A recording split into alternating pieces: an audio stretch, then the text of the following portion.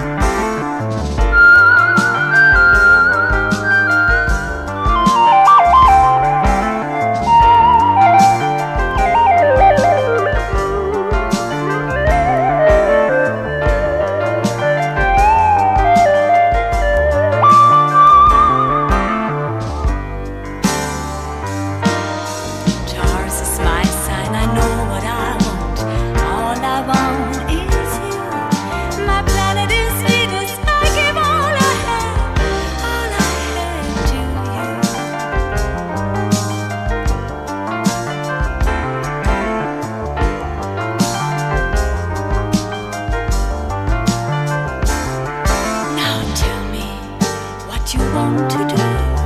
Are you really strong enough to give up?